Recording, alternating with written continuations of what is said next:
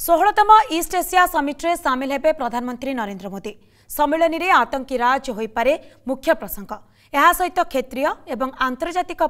मध्य आलोचना पारे सामुद्रिक सुरक्षा आतंकवाद कोभिड पर्यटन ए ग्रिन रिकभरी माध्यमले मानसिक स्वास्थ्य ए अर्थनीति सुधार प्रसंग भसङ्ग चर्चा समिट्रे दस एन सदस्य व्यतीत भारत चीन Japan Korea Australia New Zealand ଏବଂ ଆମେରିକା ପ୍ରମୁଖ ଭାଗ ନେଉଛନ୍ତି